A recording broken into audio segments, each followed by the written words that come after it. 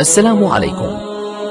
لا تنسوا الإعجاب بالفيديو والاشتراك في القناة تشجيعا لنا لنستمر بنشر المزيد إن شاء الله.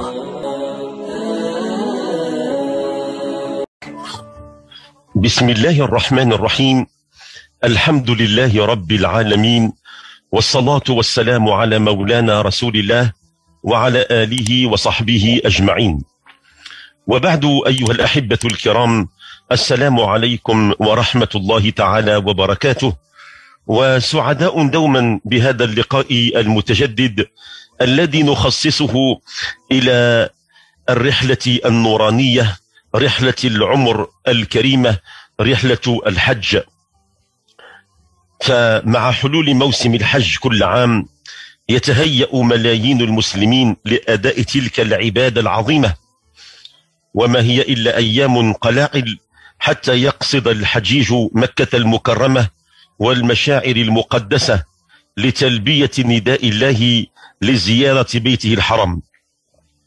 ذاك النداء الذي صدح به إبراهيم الخليل عليه السلام استجابة لأمر الله عز وجل وأذن في الناس بالحج ياتوك رجالا وعلى كل ضامر ياتين من كل فج عميق. ثم جدده نبي الله محمد صلى الله عليه وسلم. حديثنا اليوم عن السنة النبوية الشريفة وعن الأحاديث النبوية التي تحدثت عن فريضة الحج وأحكامها وحكمها. كنا في حلقة الأمس تحدثنا عن كيف تكلم القرآن عن الحج. واليوم موضوعنا كيف تكلم الرسول صلى الله عليه وسلم من خلال سنته المطهرة عن الحج. نستمع وإياكم ونتدبر ونتفكر في أقوال النبي صلى الله عليه وسلم وتوجيهاته بخصوص شعيرة الحج. حينما نقلب كتب السنة النبوية الشريفة نجد أنها ممتلئة بالأحاديث التي تحث على فريضة الحج وتبين فضله وتفصل أحكامه. من هذه الأحاديث التي ذكرها سيد الأولين والآخرين سيدنا محمد صلى الله عليه وسلم أن قال بني الإسلام على خمس على أن يعبد الله ويكفر بما دونه وإقام الصلاة وإيتاء الزكاة وصوم رمضان وحج البيت. فهذا الحديث يبين الأصول العامة للدين الإسلامي وهي خمسة شهادة أن لا إله إلا الله وأن محمد رسول الله. والثانية هي أن نقيم الصلاة الصلاة عماد الدين. والثالثة هي أن نؤتي الزكاة فيها تضامن بين الأغنياء والفقراء. والرابعة صوم رمضان فيه تطهير للنفوس وتزكية للأرواح. ثم والخامسة حج البيت لمن استطاع إليه سبيلا وهذا يجمع كل شيء. يجمع في الحج نجمع كل شيء.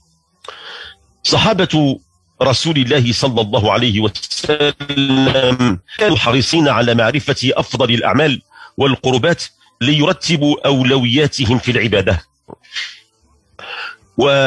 ونلاحظ في السنة الكثير من التساؤلات. كان الصحابة رضي الله عنهم من الأنصار والمهاجرين يسألون النبي صلى الله عليه وسلم عن أفضل الأعمال وعن أفضل القربات كل هذا ليرتبوا أولوياتهم في العبادة والطاعة. من ذلك ما روي عن أبي هريرة رضي الله عنه قال سئل النبي صلى الله عليه وسلم أي الأعمال أفضل؟ قال إيمان بالله ورسوله. قيل ثم ماذا؟ قال جهاد في سبيل الله. قيل ثم ماذا؟ قال حج مبرور. فهذا الحديث النبوي يبين أن الحج الذي يقبله الله تعالى هو ذلك الحج الذي يفعله المسلم ويكون خالصا لوجه الله تعالى ويكون خاليا من الرياء والسمعة والمال الحرام. كما يبين ظاهر الحديث أن الجهاد في سبيل الله قد يكون مقدم على الحج من حيث الأفضلية لكن العلماء حملوا هذا على حج النافلة لا حجة الإسلام. فحجة الإسلام هي أعظم الأعمال على الإطلاق التي يقوم بها العبد المؤمن. أما الحج النافلة الذي يكرره سنة بعد سنة فذلك أقل فضلا. لماذا أن الحج المبرور أفضل من الجهاد؟ لأن الجهاد فرض كفاية لا فرض عين. أما حجة الإسلام فهي فرض عين على كل مسلم وهي مقدمة على الجهاد. يؤكد هذا حديث آخر عن أم المؤمنين رضي الله عنها عائشة. قالت يا رسول الله نرى الجهاد أفضل العمل أفلا نجاهد؟ قال لا لكن أفضل الجهاد حج مبرور لكن أفضل الجهاد حج مبرور. فالذي يذهب إلى الحج فإنما هو مجاهد لأنه سوف يتخلل هذه الرحلة الكثير من الصعوبات البدنية فيها السفر الطويل وفيها الازدحام الكثير وفيها الانتقال من مشعر إلى آخر وفيها مشقة زائدة. وهذا يتطلب التضحية بالأموال والتضحية بالوقت والتضحية بالكثير من الامتيازات. فلا عجب إذا أن عده الرسول صلى الله عليه وسلم آه، نوعا من أنواع الجهاد بل ووصى به النساء والضعفاء من الرجال. النساء التي لا يستطعن الحج والضعفاء من الرجال وصاهم بأنهم إذا لم يجاهدوا في سبيل الله لإعلاء كلمة الله فعليهم بالحج. فقال صلى الله عليه وسلم جهاد الكبير والصغير والضعيف والمرأة الحج والعمرة. فجهاد هؤلاء هو الحج والعمرة. فالحديث يبين أن جهاد كل من المسن والصغير الذي لم يبلغ وكذلك الضعيف صاحب المرض والمرأة الضعيفة كل هؤلاء جهادهم الحج والعمرة. يؤجرون بتأديتهم للحج والعمرة بمثل ما يؤجرون إذا خرجوا للغزو والجهاد في سبيل الله. وقد جاء في الحديث أيضا أن رجلا قدم إلى النبي صلى الله عليه وسلم فقال يا رسول الله إني جبان وإني ضعيف. لا أستطيع أن أحمل السيف وأن أجاهد. قال هلم إلى جهاد لا شوكة فيه. قال ما هو؟ قال هو الحج. فالحج هو نوع من الجهاد وفيه من الأجر والثواب ما الله به عليم. وقد قال أيضا صلى الله عليه وسلم الغازي في سبيل الله والحاج والمعتمر وفد الله. دعاهم فأجابوه وسألوه فأعطاهم. ولهذا نقول بأن كل من سوف يحج ليعتبر نفسه مجاهدا. أولا يجاهد نفسه ويجاهد ذاته. ثم بعد ذلك عليه أن يبذل المزيد من الطاقة ومن الجهد ومن فعل الخير لأنه في تلك البلاد سيرى بأن هناك صحراء مترامية الأطراف تتخللها سلاسل جبلية مناخ قاس لم يتعود عليه ازدحام كثير مع الناس وقد يجد المسكن بعيد. وقد يكون السكن فيه مشقة بسبب مرتفعات ومنخفضات ووعورة الوصول إلى المسكن. قد يجد صعوبة في النقل وقد يجد صعوبة في, في الإطعام وغير ذلك فعليه أن يصبر وعليه أن يحتسب وعليه أن يعتبر بأنه مجاهد حتى أنه إذا سمع كلام ربما فيه نقد أو فيه جرح عليه أن يتجاوز لأنه في مقام الجهاد عليه أن يعلي من هذه الهمة. لذلك نجد من سنن النبي صلى الله عليه وسلم في الحج ما روي عن عمرو بن العاص رضي الله عنه. عمرو بن العاص هذا كان رجل مشرك وكان يحارب المسلمين لكنه في آخر المطاف ربنا أكرمه بالإيمان واليقين وجاء لكي يسلم بين يدي رسول الله صلى الله عليه وسلم. قال أتيت النبي صلى الله عليه وسلم فقلت له يا رسول الله أبسط يمينك لأبايعك. فبسط النبي يمينه. قال فقبضت يدي. سيدنا النبي قال له ما لك يا عمرو؟ قال أردت يا رسول الله أن أشترط. قال تشترط ماذا؟ قال أشترط على الله أن يغفر لي. أريد ربي أن يغفر لي. لأن تاريخ حياتي مليء بالذنوب مليء بالخطايا مليء بالسيئات. فقال النبي صلى الله عليه وسلم مبتسما أما علمت يا عمرو أن الإسلام يهدم ما كان قبله وأن الهجرة تهدم ما كان قبلها وأن الحج يهدم ما كان قبله. لقد فرح المسلمون بهذا الحديث النبوي الشريف. وهو أن الله تعالى يغفر كل الذنوب وكل الخطايا وكل السيئات لمن حج حجا مباركا. الإسلام يهدم ما كان قبله من الكفر والهجرة تهدم ما كان قبلها من السيئات والحج يهدم ما كان قبله من كل أعمال السوء والذنوب. فهذا شرف عظيم وكرم من الرحمن سبحانه وتعالى غفار الذنوب. أيضا جاء في السنة النبوية الشريفة قول النبي صلى الله عليه وسلم من حج لله فلم يرفث ولم يفسق رجع كيوم ولدته أمه. من حج لله فلم يرفث ولم يفسق رجع كيوم ولدته أمه. هذا الحديث النبوي الشريف يبين أن المسلم إذا حج حجا صادقا لله تعالى مخلصا له سبحانه ولم يفعل في حجه ما يبطله من الرفث. الرفث هو هو مقدمات الجماع أو الفسق وهو إتيان المعصية أو غيرها من الذنوب. عاد كيوم ولدته أمه خاليا من الذنوب مغفورا له. المولود الصغير الجنين لما يخرج من بطن أمه نقول عنه بأنه خال من الذنوب مرفوع عنه القلم. صفحته بيضاء. ليس له ذنوب ولا خطايا ولا معاصي لأنه للتو خرج من بطن أمه. كذلك الحاج الذي حج حجا خالصا لم يرفث فيه ولم يفسق فيه رجع من ذنوبه كيوم ولدته أمه. صفحته بيضاء ناصعة البياض. وهذا الأمر أيها الأحبة الكرام فيه بشارة كبيرة من من من رسول الإسلام صلى الله عليه وسلم وقد ذكر الكثير من الأحاديث التي فيها مغفرة الذنوب ومحو السيئات. منها قوله العمرة إلى العمرة كفارة لما بينهما والحج المبرور ليس له جزاء إلا الجنة. كنا نلاحظ بأن بعض الناس يذهبون إلى العمرة ثم يعودون إلى العمرة.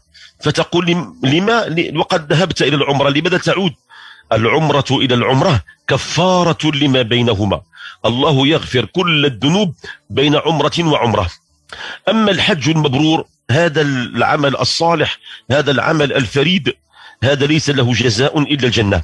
بمعنى أن كل من حج حجا مبرورا هو مبشر بالجنة لأن الله تعالى هو الذي يأخذه إلى تلك المشاعر الدينية وهو الذي يوفقه للعمل الصالح وإذا تقبل منه الله تعالى كتب له الجنة. والحج المبرور ليس له جزاء إلا الجنة. فالحج المبرور الخالي من الرياء الخالي من الرفث الخالي من الفسوق جزاء صاحبه الجنة. وهذا المعنى يكرره النبي صلى الله عليه وسلم في وصايا كثيرة منها أنه قال تابعوا بين الحج والعمرة. فإنهما ينفيان الفقر والذنوب كما ينفي الكيلو خبث الحديد والذهب والفضة. وليس للحج المبرور ثواب إلا الجنة وما من مؤمن يضل يومه محرما إلا غبت الشمس بذنوبه. هذا حديث عظيم أيضا يبين فضل الحج والعمرة أنه يحث المسلمين والمسلمات على المتابعة بين الحج والعمرة والمقاربة بينهما. أحيانا نسمع بعض الناس ينتقدون آخرين لأنهم يعتمرون ثم يعيدون العمرة مرة ثانية وثالثة. هذا ليس فيه عيب بل فيه فضل. النبي الكريم كان يحث على المتابعة بين الحج والعمرة والمقاربة بينهما. عوض أن يذهب الإنسان إلى مكان سياحي ربما يكون فيه دنيوي ولكن هو يريد مكان سياحي فيه دين فيه عبادة وطاعة وحسنات. قد تسافر إلى أجمل منطقة في العالم وتصرف الكثير من الأموال وتستمتع لك ذلك. ولكنك لن تحصل على الأجر والثواب كما هو في مكة المكرمة والمدينة المنورة. لأن المتابعة بين الحج والعمرة فيه إزالة للفقر أولا. فإنهما ينفيان الفقر. أنه ينفي الفقر كما ينفي الكير خبة الحديد والذهب والفضة. لاحظوا بأن ال ال ال الكير يعني النار المعدن ذهب أو حديد أو فضة إذا كان فيه صدى فإننا نضع في الكير في النار فيصير لامعا. هكذا هو الذي يقع للحج والمعتمر. فإنه بعد أن ينتهي من حجته أو عمرته يصير لامعا مثل لمعان الذهب والفضة. وهذا الحج ليس له ثواب إلى الجنة. ثم قال صلى الله عليه وسلم وما من مؤمن يظل يومه محرما إلا غابت الشمس بذنوبه. كل يوم وهو محرم. يلبس الإحرام ويرفع صوته بالتلبية. لبيك اللهم لبيك لبيك لا شريك لك لبيك. إن الحمد والنعمة لك والملك لا شريك لك. وهو يكرر نداء التلبية وهو محرم إلا غابت الشمس ذلك اليوم بذنوبه. كل يوم لا تغرب الشمس إلا وقد غربت بكل ذنوبه وخطاياه فيصير نظيفا طاهرا مطهرا. والنبي الكريم صلى الله عليه وسلم كان يأمر صحابته أيام الحج بأن يرفعوا أصواتهم بالتلبية. فقد قال جاءني جبريل. فقال يا محمد مر أصحابك فليرفعوا أصواتهم بالتلبية فإنها من شعار الحج. مر أصحابك فليرفعوا أصواتهم بالتلبية فإنها من شعار الحج. وفعلا في في موسم الحج أشد وأجمل ما يأخذ بالعقول والقلوب والألباب والأفئدة. لما ترى الحجيج يلبسون الإحرام ويتدافعون بالآلاف المؤلفة وهم بصوت واحد يقولون لبيك اللهم لبيك لبيك لا شريك لك لبيك إن الحمد والنعمة لك والملك لا شريك لك. إنه نداء للتوحيد لبيك لا شريك لك لبيك إن الحمد والنعمة لك والملك لا شريك لك لبيك اللهم لبيك لبيك لا شريك لك لبيك إن الحمد والنعمة لك والملك لا شريك لك لبيك اللهم لبيك لبيك لا شريك لك لبيك إن الحمد والنعمة لك والملك لا لا إله إلا الله. هذه التلبية أيها الأحبة الكرام إنما جاءت استجابة لنداء الله تعالى. لما قال لإبراهيم الخليل عليه السلام وأذن في الناس بالحج ياتوك رجالا وعلى كل ضامر ياتين من كل فج عميق. كل من سمع النداء ولبى كتب الله له الحج. يقول لبيك اللهم لبيك أي استجبنا يا ربنا لندائك. يا ربنا قد استجبنا لدعوتك. ها نحن قد أتينا وجئناك يا رحمن وقد تركنا بلادنا البعيدة. جئنا من بلاد بعيدة. تركنا أزواجنا وأولادنا وإخواننا وأحبابنا وأقاربنا. وتركنا أموالنا وتجارتنا وأعمالنا وتركنا بيوتنا ومنازلنا وأمتعتنا وتركنا كل شيء وجئناك يا ربي وكان لنا شبع عرات إلا من إحرام يستر عورتنا.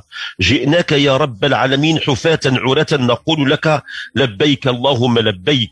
هذه التلبية إنما كان جبريل عليه السلام يأمر سيدنا محمد صلى الله عليه وسلم ويقول له يا محمد مر أصحابك فليرفعوا أصواتهم بالتلبية فإنها من شعار الحج. كذلك أيها الأحبة الكرام من الأعمال الطيبة في الحج التي ذكرها سيدنا النبي صلى الله عليه وسلم في سنته المطهرة ما روي عن أبي بكر الصديق أن النبي الكريم سئل يا رسول الله أي الأعمال أفضل؟ قال الحج العج والتج العج والتج. فتساءل الناس ما معنى العج والتج؟ قال العج هو رفع الصوت بالتلبية. ربنا يحب هذا العمل يحب هذا العمل لما يرفع الناس أصواتهم بالتلبية يسمى العج. وأما الثج قال هو نحر البدن نحر البهائم من من الأكباش والمعز والنوق والجمال نحر البدن والتج لأن الله تعالى لما يتقرب إليه الناس بالأضحيات وبالهدي وينحرون ويتقربون إلى الله كما فعل جد الأنبياء إبراهيم الخليل لما كان سوف يذبح ابنه ففديناه بذبح عظيم. فالحجاج أيضا يشترون الهدي ويذبحونه لله ويطعمون به الضعفاء والفقراء والمساكين من أهل الحرم. لن ينال الله لحومها ولا دماؤها ولكن يناله التقوى منكم. حينما يكون العج والتج أي رفع الصوت بالتلبية ونحر المدن فإن إبليس وجنوده يخنسون. إبليس وجنوده يخنسون. وفي هذا مظهر عظيم من مظاهر العبودية مظهر عظيم من مظاهر الألوهية أن الناس يتقربون إلى الرحمن سبحانه وتعالى بهذه العبادات وبهذه الطاعات. فالحمد لله على نعمة الإسلام وكفى. أيضا من السنن النبي صلى الله عليه وسلم في الحج أنه قال ما من مسلم يلبي إلا لبى من عن يمينه أو عن شماله من حجر أو شجر أو مضر حتى تنقطع الأرض من ها هنا وها هنا. وأنت تسير في البقاع المقدسة وترفع صوتك بالتلبية كل ما تمر عليه عن يمينك وعن شمالك الكل يستغفر لك الكل يشهد لك الكل يدعو لك من حجر أو شجر أو مضر كل كل ما ما حولها كله يقول يا رب فلان يرفع صوته بالتلبية اللهم اغفر له اللهم اغفر له حتى تنقطع الأرض من ها هنا وها هنا وهذا أجر وثواب عظيم في التلبية وصية لحجاج بيت الله الحرام إذا كانوا هناك في البقاع المقدسة رجاء لا تنشغلوا عن التلبية دائما ارفعوا أصواتكم بالتلبية وإذا كانت المجموعة التي كنتم معها ربما أصابتهم غفلة وصاروا يتحدثون عن قضايا الدنيا أنت أو أنت ارفعوا أصواتكم بالتلبية وذكروهم بأن المقام هو مقام العبودية لله وأن أفضل شيء أن نرفع أصواتنا بالتهليل والتكبير والتحميد والتلبية. كذلك أيها الأحبة الكرام من سنن النبي صلى الله عليه وسلم في الحج أنه قال من طاف بهذا البيت سبعة أشواط كان كعتق رقبة لا يضع قدما ولا يرفع أخرى إلا حط الله عنه بها خطيئة وكاتب له بها حسنة. من طاف بهذا البيت في الحديث أسبوعا أي سبعة أشواط فأحصاه. اللي قام بعملية الطواف حول البيت. نرى بأن الحجاج يلبسون الإحرام ويطوفون حول البيت. ما هو أجرهم؟ كان كعتق رقبة. يعني كأنه اشترى رقبة في كل شوط. اشترى رقبة وأعتقها في سبيل الله. لا يضع قدما ولا يرفع أخرى إلا حط الله عنه بخطيئة وكاتب له بحسنة. تصور كل خطوة. الله تعالى يمحو عنك سيئة ويكتب لك حسنة ويرفعك درجة في كل خطوة. لهذا نلاحظ بأن الناس يكثرون من الطواف. هناك طواف القدوم حينما يقدم الحجاج أول مرة وهناك طواف الإفاضة بعد عرفة وهناك طواف الوداع حينما يريد أن ينتهي من مناسك الحج. وبين هذا الثلاثة من أنواع الطواف هناك طواف آخر يسمى طواف التطوع. هناك من يقوم به كل يوم. وهناك من يقوم به في كل صلاة لأنه يعلم بأن فيه أجر وثواب عظيم. وهناك من يصعد إلى الصحن صحن الحرم فيه في في جولة طويلة جدا بكل خطوة يرفع الله بها درجة ويكتب له حسنة ويمحو له بها سيئة. كذلك أيها الأحبة الكرام من سنن النبي صلى الله عليه وسلم في الحج أننا نصادف الحجر الأسود. ويسمى أيضا بالحجر الأسعد. لما سئل النبي الكريم عن حقيقة هذا الحجر قال نزل الحجر الأسود من الجنة وهو أشد بياضا من اللبن فسودته خطايا بني آدم. هذا الحجر الأسود أو الأسعد هو ليس من حجارة الدنيا. وقد قام العلماء الأركيولوجيون بتنقيب وبحث عميق ودقيق حول طبيعة هذا الحجر فوجدوا أنه لا ينتمي إلى الكوكب الأرضي. لهذا صدق سيدنا النبي لما قال نزل الحجر الأسود من الجنة فهو من حجارة الجنة. لما نزل أول مرة في عهد آدم عليه السلام كان أشد بياضا من اللبن. كان كل من يراه تقشعر منه العيون من شدة بياضه. وهو حجر له مشاعر وله أحاسيس فكان يتأثر بالذنوب والخطايا وبسفك الدماء التي تقع بين البشر. لهذا قال كان أشد بياضا من اللبن فسودته خطايا بني آدم. وقد أخبر النبي صلى الله عليه وسلم وبشر أن من مسح الحجر وأيضا الركن اليماني كفارة للخطايا.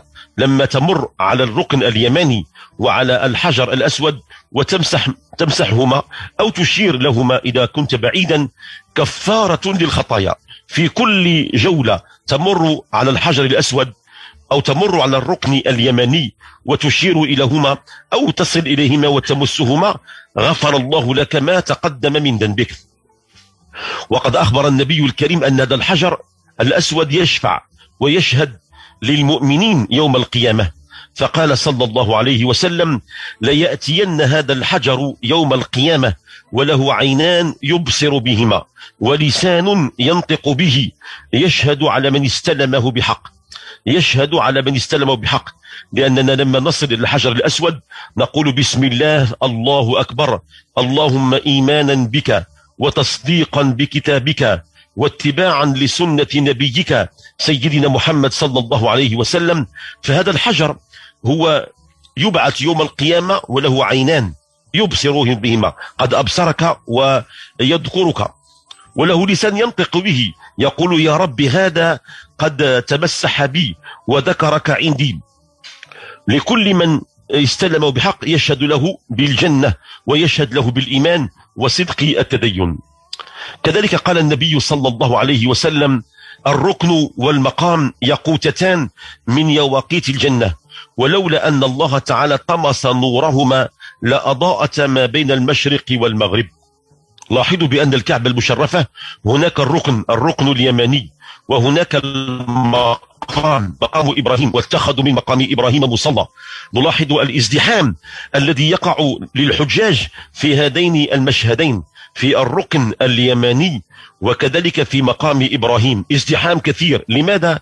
لأنهم يعلمون قول النبي الكريم بأن هذا الركن وهذا المقام إنهما يقوتتان من يواقيت الجنة. فيهما نور عظيم. الله تعالى طمس نورهما خوفا على أن ينشغل بهما الناس. لو تركهم الله على حقيقتهما لأضاءت ما بين المشرق والمغرب.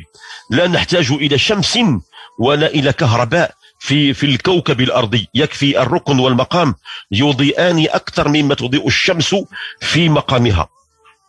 ثم هناك أيضا في هذا المشاعر هناك ماء زمزم الذي قال فيه النبي صلى الله عليه وسلم ماء زمزم لما شرب له. ماء زمزم لما شرب له. فالناس بعد أن يطوفوا يقومون بشرب ماء زمزم ويدعون هناك يدعون بما في قلوبهم. فماء زمزم هو طعم وشفاء. كذلك قال صلى الله عليه وسلم ما من يوم أكثر ما يعتق الله في عبد من النار هو يوم عرفة. يوم عرفة هو الحج الأكبر. الحج الأكبر يوم عرفة. هذا اليوم العظيم الله سبحانه وتعالى يعتق فيه رقاب العباد من النار. وهذا اليوم تتنزل فيه الملائكة. بل هذا اليوم الأكرم ربنا عز وجل يتنزل نزولا يليق بجلاله يوم عرفة في رقعة عرفة لكي يصفح ربنا عز وجل عباد الله المؤمنين ويغفر للعباد كلهم ممن حضروا عرفة ويعتق رقابهم من النيران. لهذا قال صلى الله عليه وسلم ما من يوم أكثر ما يعتق الله في عبد من النار من يوم عرفة وإنه ليدنو أي أن الله تعالى يدنو من العباد حتى إن بعض المؤمنين يشعرون ببرد قرب الله منهم على ظهورهم. هناك ظهورهم تشعر بأن هناك برد يمسهم. قالوا ذلك هو أن الله يدنو منهم ثم يباهي بهم الملائكة. فيقول يا ملائكتي انظروا إلى عبادي جاءوني من بلاد بعيدة جاءوني شعة غبرة جاءوني يدعونني ويذكرونني. كذلك أيها الأحبة الكرام من الأحاديث النبوية الشريفة المتعلقة بالحج ما يتعلق لما ينتهي الحاج من الطواف والسعي ويأتي وقت الحلق. قال صلى الله عليه وسلم رحم الله المحلقين قالوا والمقصرين يا رسول الله. قال رحم الله المحلقين. قالوا والمقصرين يا رسول الله. قال رحم الله المحلقين. قالوا والمقصرين يا رسول الله. قالوا والمقصرين. أي أن الله تعالى يرحم من يقوم بحلق رأسه في الديار المقدسة بعد أن ينتهي الحاج من كل المناسك. يأتي وقت الحلق. وكأنه هذا الحاج أعطى من ماله أعطى من وقته أعطى من كل ما يملك الآن سوف يعطي من جسده. ربنا لم يطلب منا عينا ولا أذنا ولا سنا ولا أصبعا وإنما طلب منا فقط شيء هو الشعر لأن الله سوف يخلفه. والإنسان حينما يحلق الأفضل أن يحلق. ثلاث مرات يقول رحم الله المحلقين رحم الله المحلقين رحم الله المحلقين ثم قال في, الرابعة والمقصرين. المقصرين في الدرجة الرابعة. ولهذا الإنسان يحرص على أنه يحلق خصوصا إذا كانت حجة الإسلام. حجة الإسلام يعني المفروض أن الإنسان يحلق فيها وقد يحج الإنسان حجة للنافلة قد يقصر. ولكن حجة الإسلام عليه أن يحلق كما نحلق للطفل الصغير حينما يولد يوم سابعه آه، يعق له ويقوم بحلق شعره. تيمنا كأنه خرج من ذنوبه كيوم ولدته أمه. أيضا من سنن النبي صلى الله عليه وسلم جوابا على من أراد أن يحج عن غيره. هناك من حج عن نفسه ثم بعد ذلك أراد أن يحج عن غيره من الناس. فقد جاء رجل يسأل النبي صلى الله عليه وسلم عن الحج عن أمه فقال له أرأيت لو كان على أمك دين أكنت قاضيه؟ قال نعم. قال فحج عن أمك. قال فحج عن أمك. ثم سأله رجل آخر أراد الحج عن أبيه؟ وهو كبير السن. الأول الأول أمه قد ماتت. ماتت أمه ولم تحج. هل يحج عنها؟ جواب النبي الكريم قال أرأيت لو كان على أمك دين؟ أكنت قاضي؟ قال نعم. قال فحج عن أمك فدين الله أولى. فهذا فيه معنى الحج عن الأموات. إذا مات الوالدين أو غيرهم من الأقارب وأردت أن تحج عنهم لك أن تحج. ولما جاء رجل آخر وقال سأله عن أبيه أنه كبير السن ومريض طريح الفراش ولا يستطيع أن يقدم إلى الحج. قال هل أحج عنه؟ قال أي نعم. حج عن أبيك فإن لم تزده خيرا لم تزده شرا. فهناك النيابة عن الحج لمن لمن آه، آه، لم يستطع الحج لكن بشرط أن يكون الذي سوف يقوم بالفعل سبق له أن حج حجة الإسلام. كما قال للصحابي الجليل أريد أن أحج عن أخي شبرمة وقد مات. قال حج عن نفسك أولا ثم حج عن أخيك شبرمة أيضا أيها الأحباب الكرام من فضل وجلال آه، الإسلام في الحج أنه أخذ في الاعتبار الصعوبات المصاحبة لأدائه. فالإسلام شرع الحج مرة واحدة في العمر على المستطيع مرة واحدة. فقد قال النبي صلى الله عليه وسلم أيها الناس قد فرض الله عليكم الحج فحجوا. فقال رجل أكل عام يا رسول الله؟ فسكت. حتى قال ثلاث مرات أكل عام يا رسول الله؟ أكل عام يا رسول الله؟ سكت النبي الكريم ثم قال لو قلت نعم لوجبت ولما استطعتم. فالحج المبرور والمفروض هو على المسلم مرة واحدة في العمر مرة واحدة تيسير المسلمين وتسير عليهم. ثم قال النبي الكريم ذروني ما تركتكم فإنما هلك من كان قبلكم بكثرة سؤالهم واختلافهم على أنبيائهم.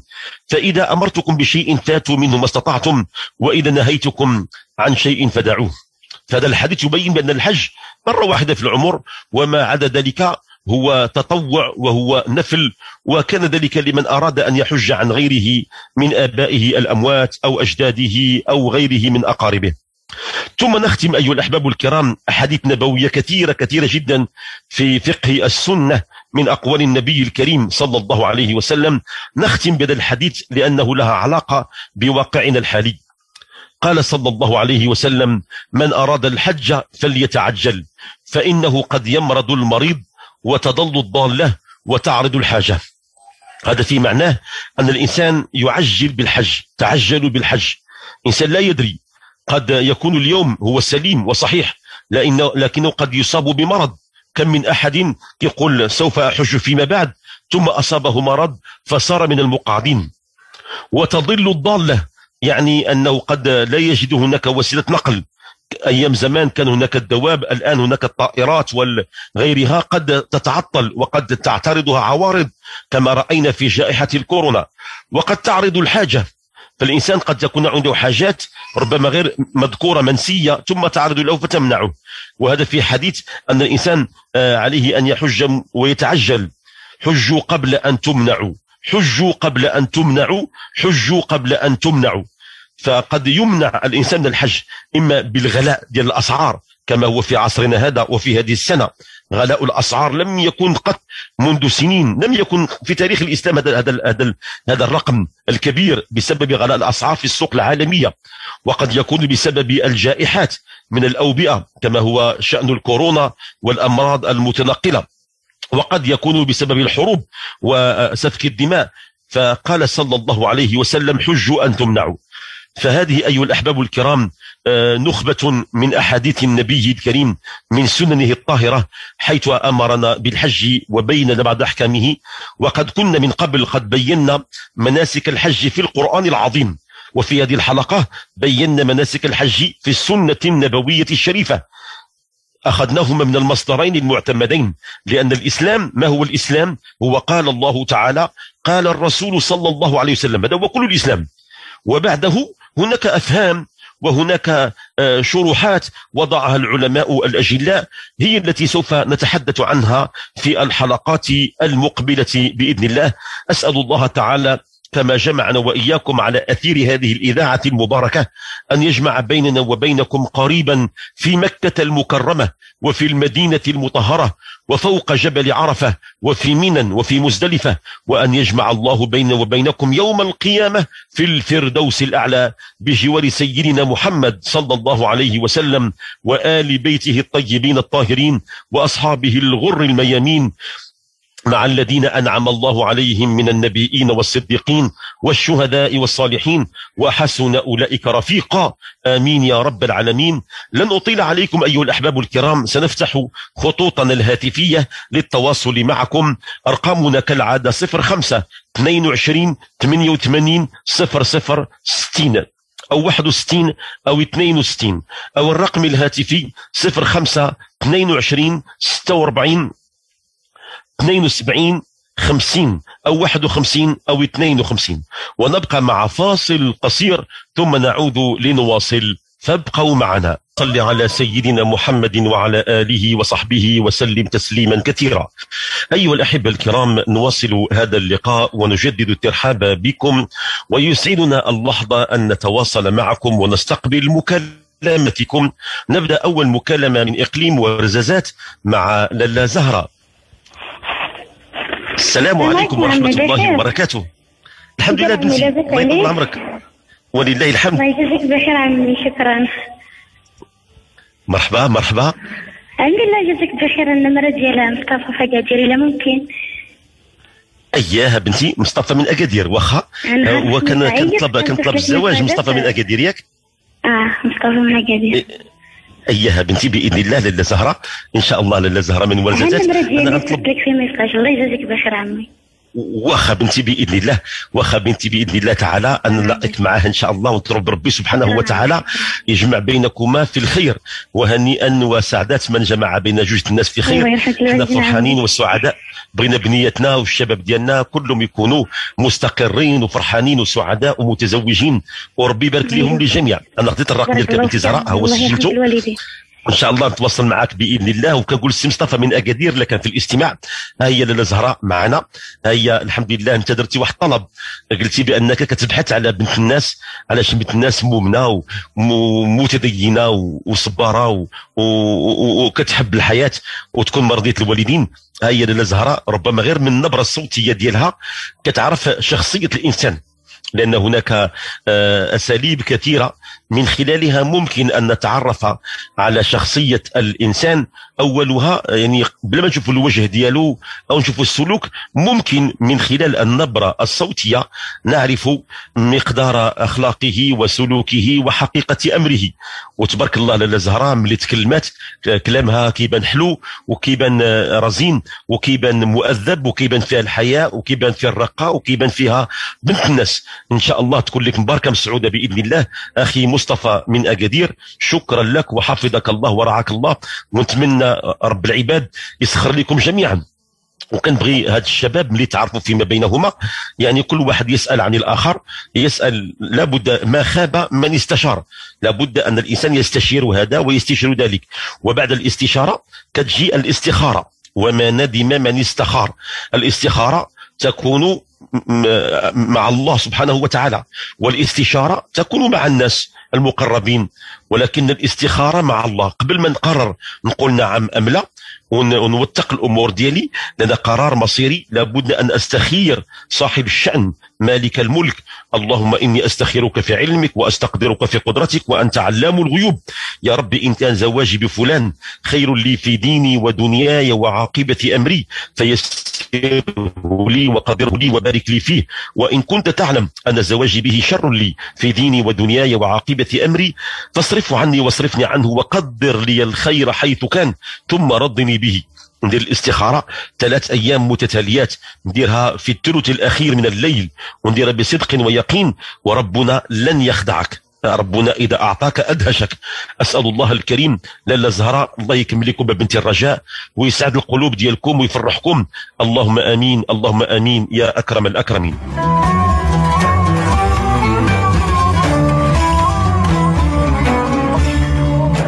ونتحول إلى مكناس مع لاله خديجة. ألو السلام عليكم سي الحاج. وعليكم السلام ورحمة الله تعالى وبركاته.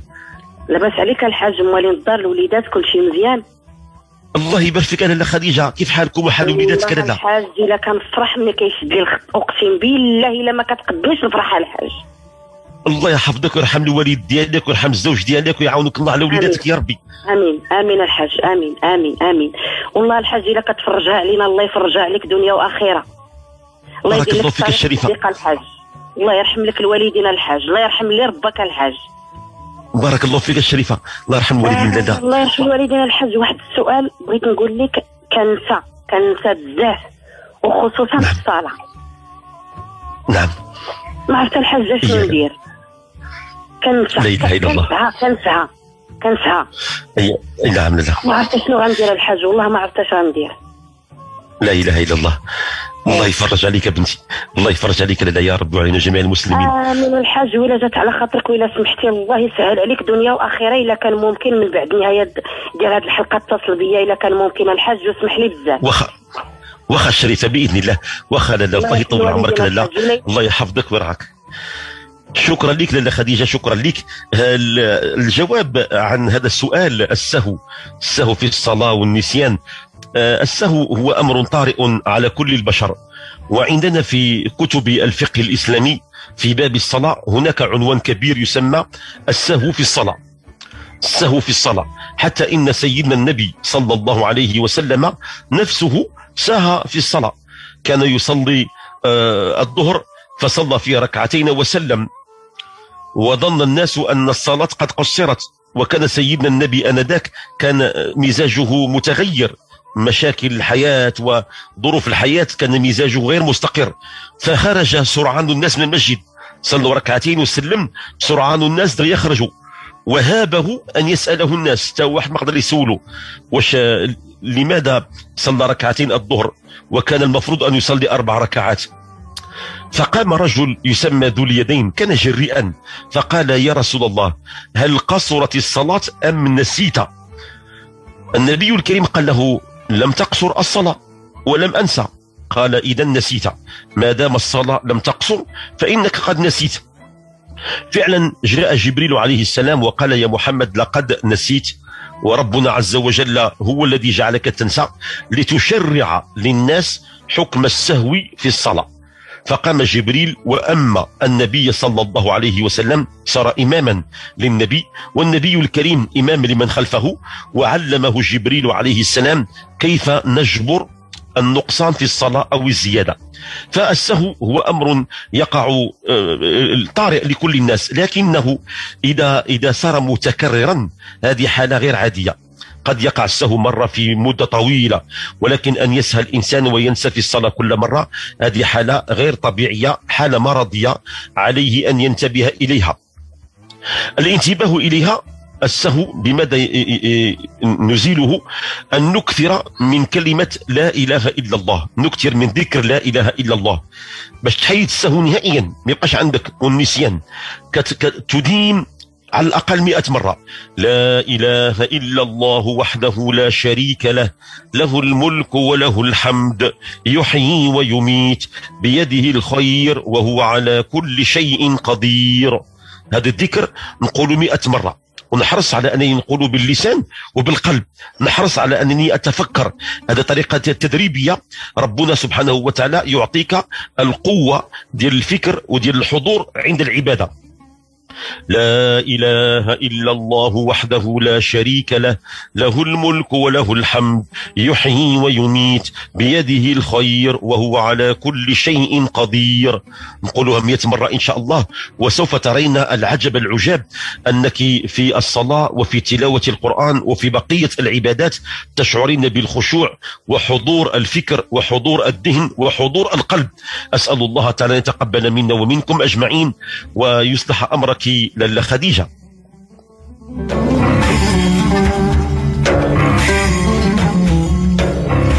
نواصل أيها الأحباب الكرام ونتحول إلى إقليم تازة معنا سيدي بوجمعة.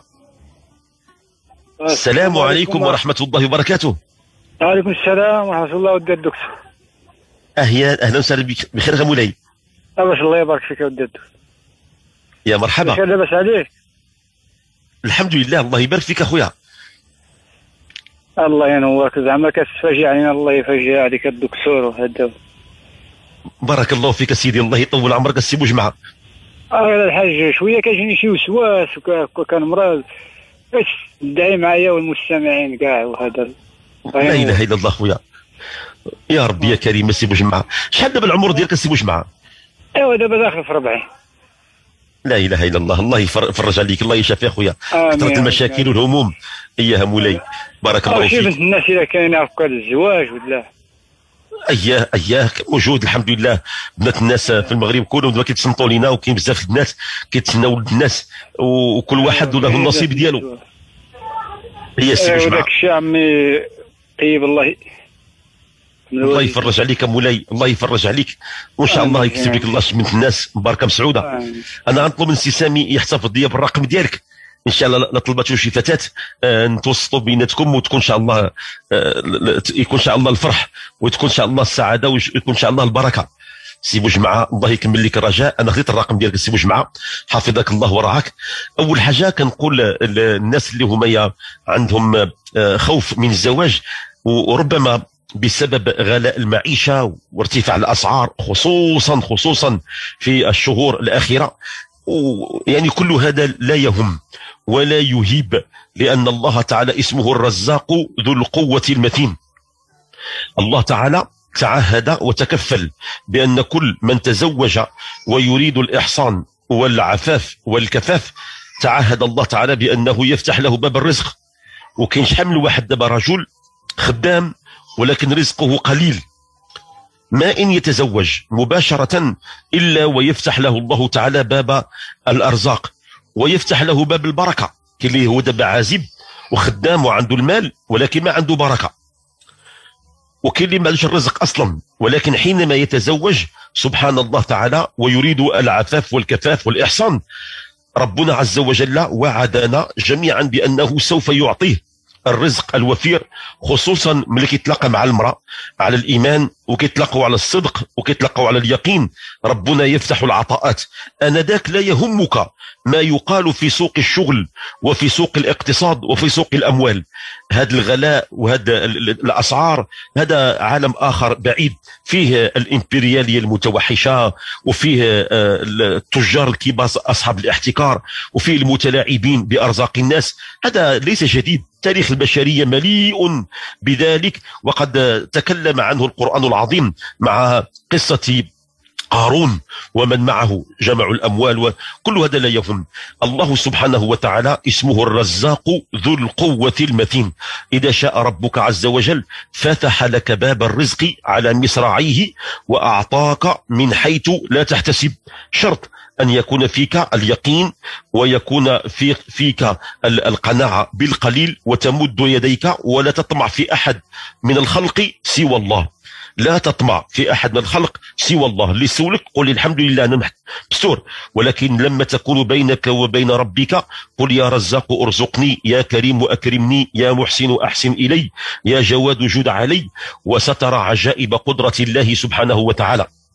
سي مجمع هذا الوسواس اولا خصك اخويا تقطع حبل التفكير. الوسواس هو إما حالة نفسية وإما حالة روحية. الحالة النفسية كتكون سببها تكاثر المشاكل والهموم وما يسمى بالتفكير الغير منقطع الناس كيتسمى عندهم تفكير غير منقطع. هذه حالة نفسية. مشاكل عائلية ظروف الحياة صعبة كيبقى يفكر الإنسان هذه مشات هذه جات هذا وقع هذا ما وقع التفكير الغير المنقطع كيؤدي إلى الوسوسة. وسوسة حالة نفسية. هذا العلاج ديالها بسيط. العلاج ديالها نتعلم أن أقطع حبل التفكير نقطع حبل التفكير ما نخليش التفكير يستمر. دائما نشتغل بشي حاجة في يديا نشتغل بشي حاجة بفكري باش نقطع حبل التفكير. وكذلك إذا كان حالة روحية إذا كانت حالة روحية هو مشكلته كيكون عنده علاقة بالأرواح الخبيثة. الأرواح الخبيثة الإنسان ربما قد لا يتوضأ إنسان يبيت بالجنابة أو يصبح ويسير بالجنابة. وكل هذا قد يؤثر على على الوسوسة. الإنسان يقرأ قل هو الله أحد والمعوذتين ثلاث مرات في الصباح والمساء. يقرأها دائما قل هو الله أحد والمعوذتين قل أعوذ برب الفلق قل أعوذ برب الناس ثلاث مرات في الصباح وفي المساء. وإن شاء الله تعالى يزول عنك هذا الوسواس الخناس وتصير بصحة وعافية جيدة. أسأل الله تعالى السبج الله يحفظك ويرعاه ويبارك فيك وأسأل الله تعالى أن ينور طريقك ويسعد قلبك ويختار لك الزوجة الصالحة التي تسعدك في الدين والدنيا والآخرة. اللهم آمين اللهم آمين يا رب يا كريم.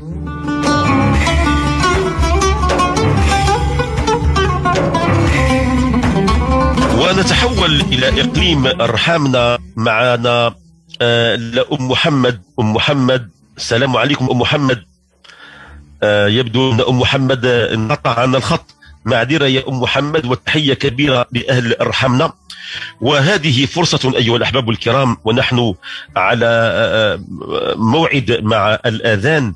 نسأل الله سبحانه وتعالى أن يوفق الجميع ويبارك في الجميع. دائما الإنسان لكي يتجاوز هذه المشاكل اليومية وهذه الصعوبات اليومية خليك في اتصال مع خالقك. الاتصال مع الخالق. الاتصال مع الخالق أيها الأحباب يجعلك دائما عندك المدد. المدد.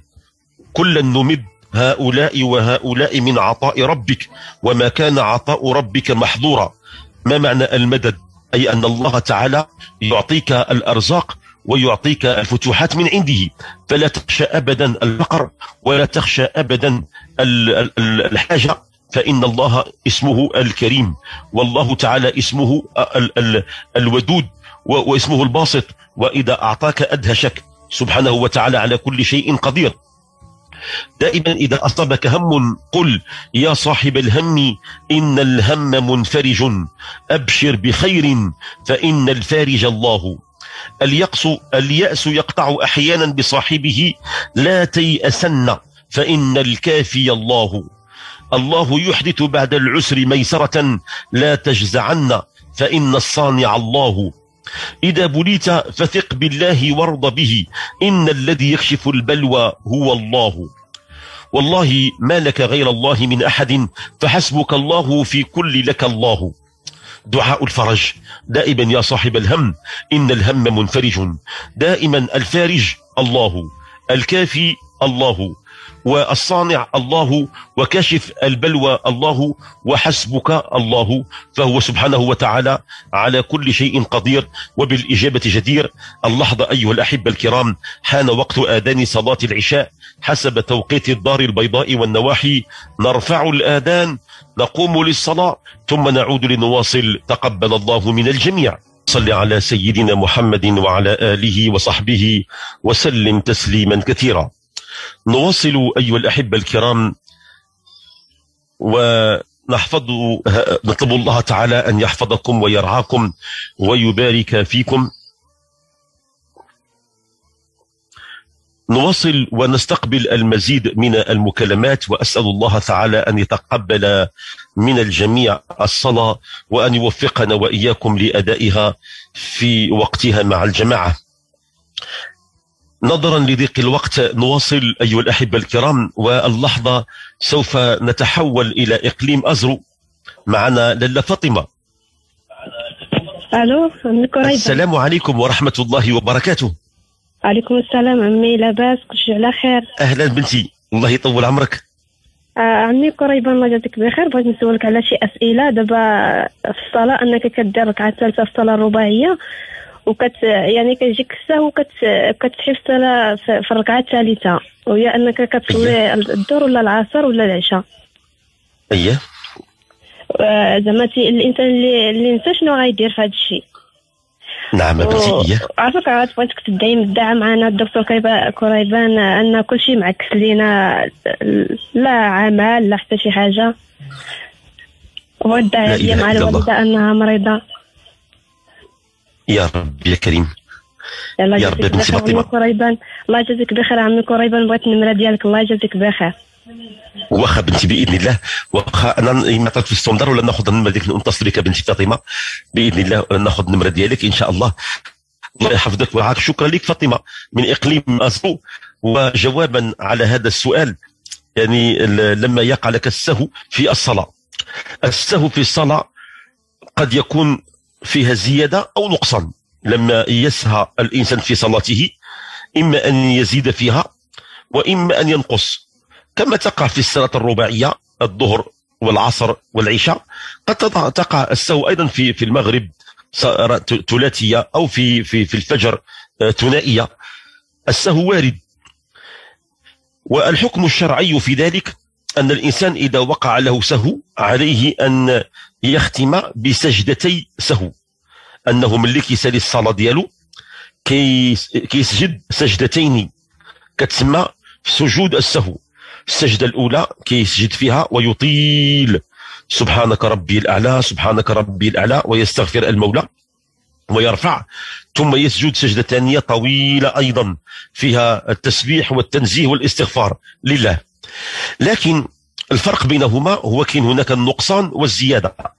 إذا عندك نقصان في الصلاة مثلا الصلاة الرباعية درتها ثلاثية أنا عندي النقصان في الصلاة كنتبه وكنزيد الرابعة وكندير التحية وقبل أن أسلم قبل أن أسلم كنسجد سجدتين مطولتين كتسمى سجدي السهو ثم كندير التحيات الإبراهيمية وكنسلم هذا إذا كان عندي نقصان في الصلاة. أما إذا كان عندي زيادة في الصلاة مثلا الظهر في أربع ركعات أنا صليت خمسة. في هذه الحالة كنصلي الصلاة عادية وكندير التحية بالصلاة الإبراهيمية وكنسلم وبعد السلام عاد كندير السجود البعدي كاين السجود القبلي والسجود البعدي كنصلي كن كنسجد لله تعالى سجدة طويلة ثم أرفع ثم سجدة طويلة ثم أرفع. بعد السلام. وهذا الفقهاء اعطوا واحد. واحد الرمز سموه نقزب نقزب يعني النون نقصان فيها زيادة. والباء نقزب النون إذا كان عندك النقصان كيكون سجود قبلي. والزاي إذا كان عندك زيادة عندك سجود بعدي نقزب. فالسجود آه، ديال السهو إما قبلي وإما بعدي. وأسأل الله تعالى لكي يرفع عنا الله السهو أننا نكثر من الذكر.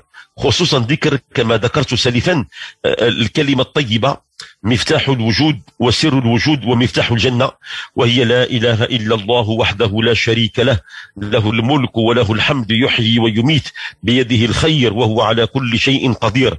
نبقى نقولها ونعاودها ونقولها بصدق وبيقين وبخشوع. نقولها إما مئة مرة أو نقولها بلا عدد حتى حتى نشعر بأن لساني ولكن ينطق بها بشكل لا إرادي. آنذاك السهو ما يبقاش يدور بك نهائيا والنسيان ما يبقاش يجي لعندك. وغتشعر بأنك عندك عقل حاضر وقوي وخاشع بإذن الله. بنتي فاطمة الله يرفع عنكم هذه العكوسات وهذه الموانع. أسأل الله تعالى أن يفرج عنك وعن العائلة كل هذه العكوسات والموانع. دائما بنتي العكوسات غتحيد بالإستغفار. وهذه كلام أقوله لسميع السادة المستمعين اللي كيشعر بأن عنده عكوسات في الحياة إما عنده تأخر الزواج أو مشاكل في الزواج أو عنده مشاكل في العمل أو عنده ضيق في الرزق أو عنده آه، هموم آه، أشكال وألوان. وعجز عن إيجاد الحل المناسب. لا تنشغل بالحلول. أقولها لكم بصدق ويقين. خذوا مني هذه الوصية.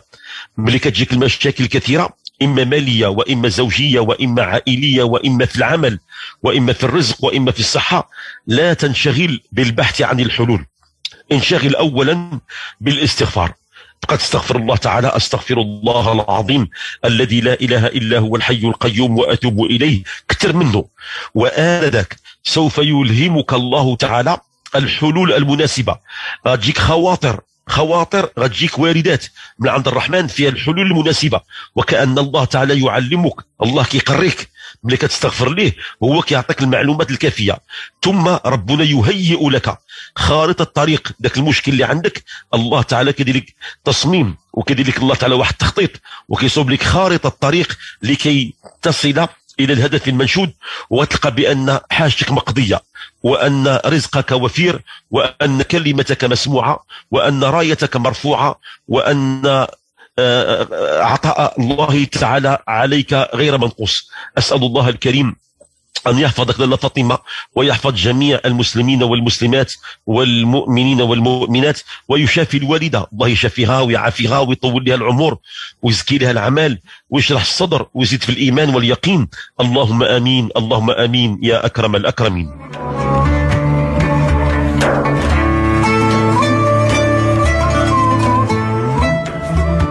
نتحول الآن من أزرو إلى إقليم زاغورا معنا لاله زهراء السلام عليكم.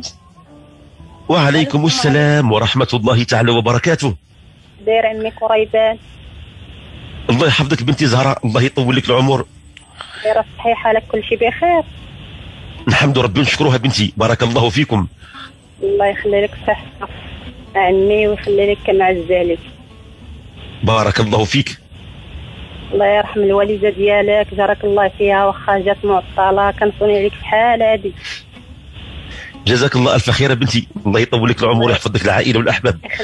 يخلي لك الاوليات ويخلي لك الدار بارك الله فيكم لاله طلبتنا عمي الله يستر عمرك ويرحم لك الوالدة. أيها لاله مرحبا. ويبارك لك في عمرك ويبارك لك في صحتك. وبغيتك في واحد الموضوع مهم مهم بزاف بزاف اتصل بيا. واخا بنتي بإذن الله. واخا بنتي بإذن الله نح- نحاول نحتفظ بالرقم ديالك. أخونا سي سامي في الإخراج وفي تلقي المكالمات نطلب منه يخلي لي الرقم ديالك ونحاول نتواصل معك إن شاء الله. بإذن الله تعالى. إن شاء الله. ولو انك المكالمات كثيرة بعد البرنامج كنبقى واحد ساعة أو ساعتين كنحاول نتواصل مع الناس اللي هما يا- طلبوا مني ال- ال- المذاكرة الخاصة إن شاء الله بإذن الله بنتي بإذن الله الله يحفظك ويرعاك ويبارك فيك كنشكروك بنتي ويحفظك الله تعالى العائلة والأحباب وكل ما كتمنى على الله تعالى إحنا دوما في هذا البرنامج أيها الأحبة الكرام نريد أن نكون كأسرة كأسرة تجتمع كيجتمعوا الاباء والأمهات والعائلة والأحباب وكيحاولوا ما أمكن يتناصحون وكيحاولوا ما أمكن يرشدوا بعضهم بعضا والقوي منا يأخذ بيد أخيه الضعيف. شكر الله لكم لاله زهراء من زاكوره ودابا غنمشيو للرباط غنمشيو عند لاله فاطمة. السلام عليكم ورحمة الله وبركاته. عليكم السلام. ورحمة الله. عليكم مرحبا السلام لاله. ورحمة الله السي الحاج كي داير لاباس عليك. لا بس الشريف الله يطول عمرك لاله لاباس الحمد لله ودا السي الحاج.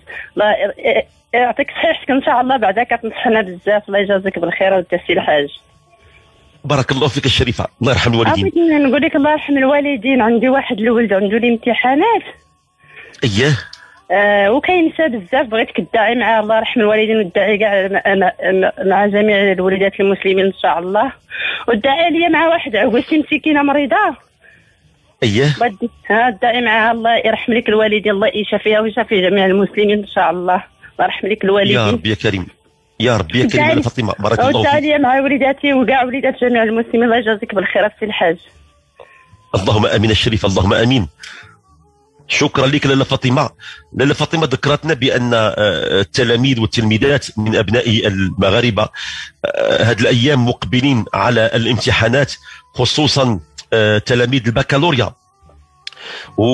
واحيانا بعض التلاميذ ربما يتوقعون بأن ال- الامتحان ديال البكالوريا وغيره من ال- الفصول الدراسية أن الامتحان هو شيء كبير وشيء ضخم. بالعكس كنبغي نطمن التلاميذ ديالنا بأن كل سنة المناهج الدراسية والتعليمية هي راه مبسطة.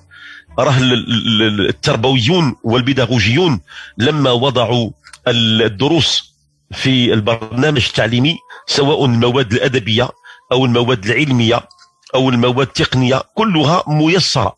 والعقل البشري قابل على أن يهضمها ويفهمها ويستوعبها. وقادر على أنه يجيب عن كل الأسئلة.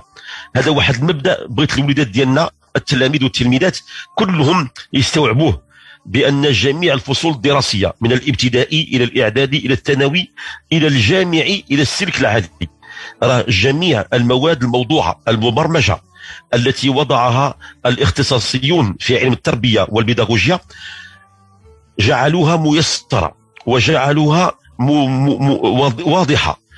وهي متوافقة مع القدرات تاع العقل البشري العادي. الإنسان العادي راه قادر. أما الإنسان اللي هو ذكي جدا هذاك راه غادي يفوت له فلا داعي للخوف ولا للقلق. لكن باش نتجاوزوا النسيان ونتجاوزوا عدم الفهم الإنسان ال- واحد الوصية للأولاد وال- والبنات ربما قد يتغافلون عنها. هو هي أن الانسان يحافظ على الصلاة. الصلاة حينما تحافظ عليها ربنا عز وجل يجعل المعلومات والأفكار ويجعل كل شيء محفوظ في الذاكرة. حينما تريده يخرج في اللحظة. لأن الصلاة حينما نحافظ عليها تقول لك حفظك الله كما حفظتني. حفظك الله كما حفظتني. وبالتالي يحفظ الله لك رزقك وأولادك وأموالك والصغار كيحفظ لهم الله المعلومات ديالهم.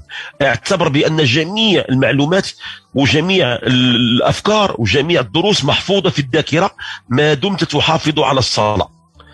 وإذا لم يصلي الإنسان الصلاة وضيعها تقول ضيعك الله كما ضيعتني ضيعك الله كما ضيعتني. ويبقى الإنسان يجري ويكابد ويتعب ولا يحصل إلا على القليل لأنه ضيع الصلاة وتدعو عليه بالسوء ضيعك الله كما ضيعتني. فهذه وصية لأبنائنا وبناتنا اللي بغى يبارك ليه الله تعالى فيما أعطاه يحافظ على الصلاة. وحتى إذا ضاعت له شيء إذا ضاع له شيء فسرعان ما يعوضه المولى. قد يتعرض الإنسان إلى ضياع ضياع فرصة ضياع أموال ضياع آه، واحد شيء جميل في الحياة ديالو يعوضه المولى. وعد من الله أنه يعوضه. فهذه وصية لك لاله فاطمة لولي ديالك ولكل أبناء المسلمين أننا نحثهم على الحفاظ على الصلاة. والشيء الأخر هو سوف تحصيل حاصل. سوف يأتي بتلقاء نفسه. وهذا بالتجربة بالتجربة لسنين سنين طويلة. من حفظ الصلاة حفظه الله ومن آه، أداها في وقتها ومن أكرمها أكرمه الله تعالى. فنسأل الله جل جلاله أن يبارك في كل أبنائنا وبناتنا أبناء المسلمين وبنات المسلمين في كل مكان. أسأل الله تعالى أن يرزقهم قوة الحافظة وأن يرزقهم قوة الذاكرة وأن يرزقهم حسن الإجابة وأن يرزقهم الاستقامة على الطريق. دائما الأمهات والآباء يكثروا من الدعاء لولادتهم لأن ربي عز وجل بالدعاء يفتح لهم الأبواب المغلقة. دائما نشجعوا وليدتنا بأن الدروس اللي عندهم راها بسيطة راه ممكن أن نفهمها. نشجعوهم بأنهم سوف يتمكنون من الإجابة الصحيحة ونشجعوهم بأن المستقبل كله لهم ونشجعوهم دائما بأنهم يكونوا هما في نفوسهم مرتاحين. ونحضروا من واحد السلوك اللي هو خطير. كيستعملوا بعض الأمهات أنهم وبعض الآباء أنهم يجبرون أولادهم ويحاصرونهم ويتعاملون معهم بواحد الشدة لكي ينجح ليكون هو الأول. فيضغط عليه فإذا به كيتركب في مجموعة عقد وكتركب فيه واحد المجموعه ديال السلوكات الغير السليمه ومن بعد كيؤدي الفاتوره غالية جدا. نحافظوا اولا على السلامة النفسية. ديال وليداتنا يكونوا فرحانين ويكونوا سعداء يكونوا مبتهجين يكونوا مقبلين على الحياة. نساعدوهم على الدراسة على المراجعة. نشجعوهم على أنهم سوف يكونون ناجحين. نفتحوا لهم باب الأمل الجميل وغادي يكونوا إن شاء الله تعالى في أح على أحسن ما يرام. ونزيدوا إحنا الآباء والأمهات. ندعو لهم في ظهر الغيب ونتصدق نتصدق لهم على الفقراء والمساكين. ونطلب الله تعالى أنه يبارك في أولادنا ويحفظهم في غيبتنا. لاله فاطمة الله يحفظ لك وليداتك يا ربي كاملين. الله يمتعهم بالصحة والعافية وتمام العافية. أسأل الله تعالى أن يشافي كل مرضاكم. الله يشافي الوالدة ويشافي العائلة كاملين. ويمتعهم بالصحة والعافية وتمام العافية. اللهم آمين اللهم آمين اللهم آمين. يا أكرم الأكرمين.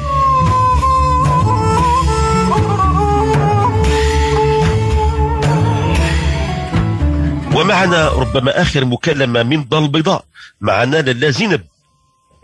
السلام عليكم. وعليكم السلام ورحمة الله تعالى وبركاته. الحمد لله عمي الحاج شد لي الخط. يا مرحبا بك لاله زينب. هو عمي الحاج بغيتك دير لي الرقية لبنتي مريضة اللي هاد لي الله يشافيها ويعافيها يا ربي. الله يشافيها. ويعافيها يا رب. يلا نضرب شهور واش كتبكي بالليل؟ لا، هاد يومين تزكي لي هاد الليلة تزكي بالليل بزاف وحتى بالنهار وتحت الله عيني هاك. حال لا إله إلا الله الله يشافيها ويعافيها. الله دوزت يشفيها ويعافيها. وقال لي شوية البرد وعطى لي الطبيب الدواء. الله يشافيها ويعافيها لاله الله يشافيها يا رب يا كريم يا رب يا كريم الله تعالى هو الشافي والعافي.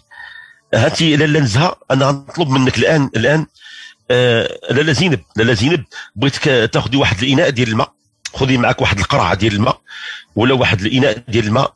ديري فيه الم- الماء وإن شاء الله ندير واحد الرقية الآن جماعية. لك لاله زينب والبنية ديالك ولكل المستمعين والمستمعات جميع المستمعين والمستمعات اللي معنا الآن اللي ربما كيعانيوا من بعض الأمراض الروحية إما عندهم العين وإما عندهم الحساد وإما عندهم السحر وإما عندهم العكوسات وعندهم الموانع أو أغلقت عليهم الأبواب وعندهم ظروف روحية فيها نوع من الرعب والخوف.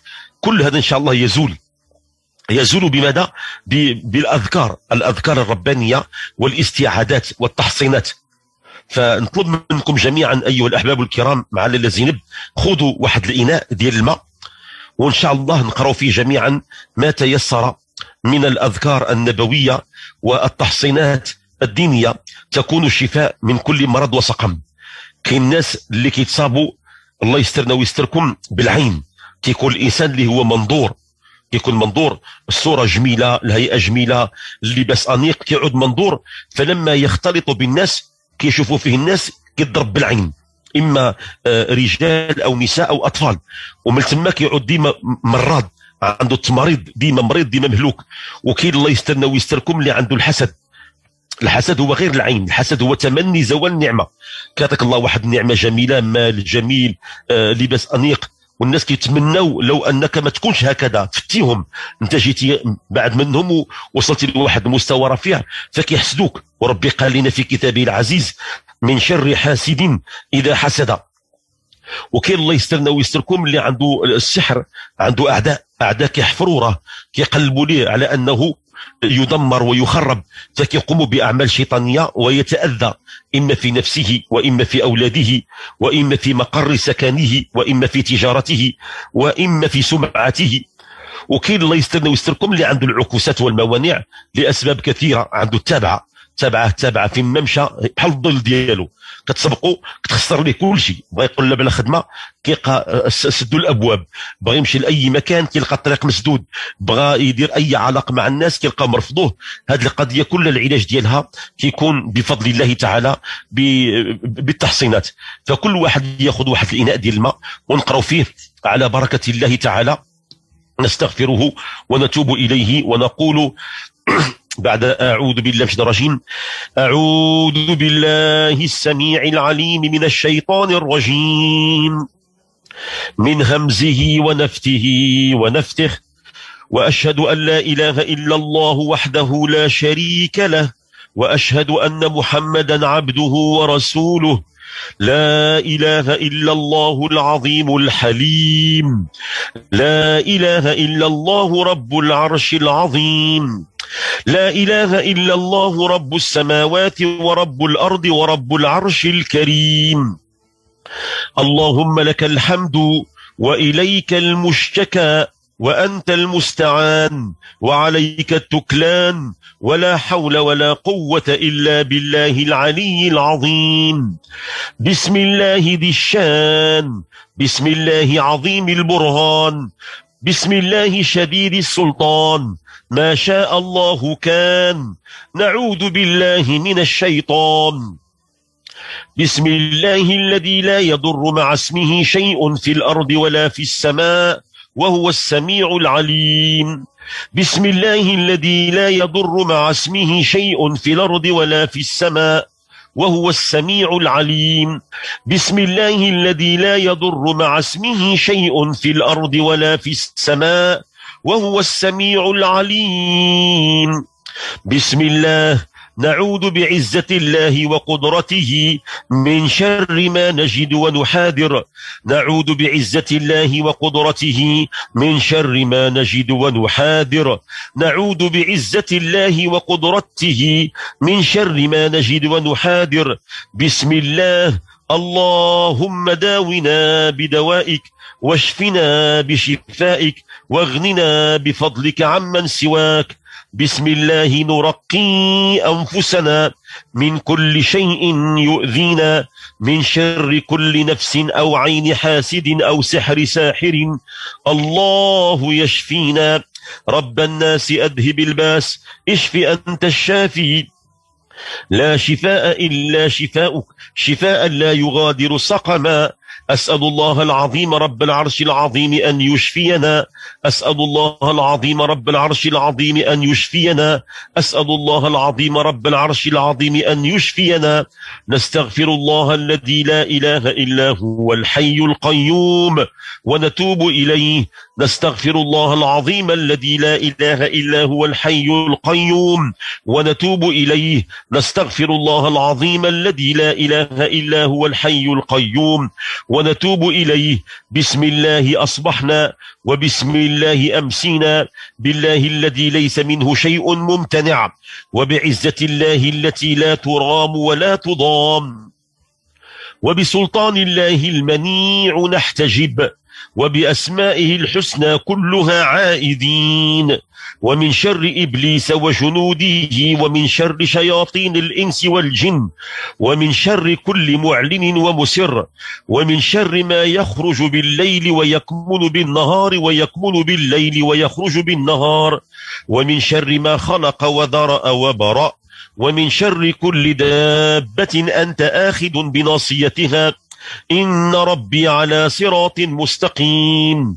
نعوذ بكلمات الله التامات من شر ما خلق وذرأ وبرأ. نعوذ بكلمات الله التامات من شر ما خلق وذرأ وبرأ. نعوذ بكلمات الله التامات من شر ما خلق وذرأ وبرأ. نعوذ بما استعاذ به موسى وعيسى وإبراهيم الذي وفى. من شر ما خلق ودرأ ومن شر إبليس وجنوده نعوذ بكلمات الله التامات من غضبه وعقابه وشر عباده ومن همزات الشياطين وأن يحضرون. نعوذ بالله العظيم وبوجهه الكريم وسلطانه القديم من الشيطان الرجيم. نعوذ بكلمات الله التامة من كل شيطان وهامة ومن كل عين لامة. نعوذ بكلمات الله التامة من كل شيطان وهامة ومن كل عين لامة نعوذ بكلمات الله التامة. من كل شيطان وهامة ومن كل عين لامة تحصنا بالله الذي لا إله إلا هو إلهنا وإله كل شيء واعتصمنا بربنا ورب كل شيء وتوكلنا على الحي الذي لا يموت واستدفعنا الشر بلا حول ولا قوة إلا بالله العلي العظيم. حسبنا الله لا إله إلا هو عليه توكلنا وهو رب العرش العظيم. حسبنا الله لا إله إلا هو. عليه توكلنا وهو رب العرش العظيم. حسبنا الله لا إله إلا هو. عليه توكلنا وهو رب العرش العظيم. حسبنا الله ونعم الوكيل. حسبنا الرب من العباد. حسبنا الخالق من المخلوقين حسبنا الرازق من المرزوقين حسبنا الله هو حسبنا حسبنا الذي بيده ملكوت كل شيء وهو يجير ولا يجار عليه حسبنا الله وكفى سمع الله لمن دعا ليس وراء الله مرمى حسبنا الله لا إله إلا هو عليه توكلنا. وهو رب العرش العظيم. اللهم رحمتك نرجو فلا تكلنا إلى أنفسنا طرفة عين وأصلح لنا شأننا كله. لا إله إلا أنت. اللهم ذا السلطان العظيم والمن القديم ذا الوجه الكريم ولي الكلمات التامات والدعوات المستجابات. عافنا أجمعين وعاف جميع المسلمين. اللهم عافنا من أنفس الجن وأعين الإنس يا رب العالمين. يا ذا السلطان العظيم يا ذا المن القديم يا ذا الوجه الكريم يا ولي الكلمات التامات والدعوات المستجابات. عافنا أجمعين عافنا من أنفس الجن وأعين الإنس يا رب العالمين. يا ذا السلطان العظيم يا ذا المن القديم يا ذا الوجه الكريم يا ولي الكلمات التامات والدعوات المستجابات. عافنا وعاف المسلمين أجمعين. عافنا من أنفس الجن وأعين الإنس يا رب العالمين. إنا نعوذ بك يا مولانا من جهد البلاء ودرك الشقاء وسوء القضاء وشماتة الأعداء. ربنا الله الذي في السماء تقدس اسمك أمرك في السماء والأرض كما رحمتك في السماء. فاجعل رحمتك في الأرض واغفر لنا خطايانا وأنزل رحمة من رحمتك وشفاء من شفائك. على هذه الأوجاع فتبرأ اللهم أنت القوي وليس أحد أقوى منك. وأنت الرحيم وليس أحد أرحم منك.